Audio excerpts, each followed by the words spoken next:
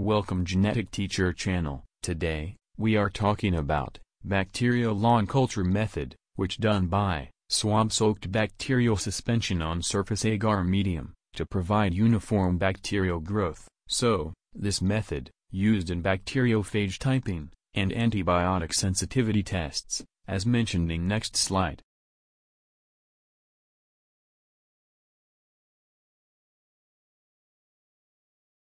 Thanks for attention. Please like and share and subscribe Genetic Teacher videos and channel.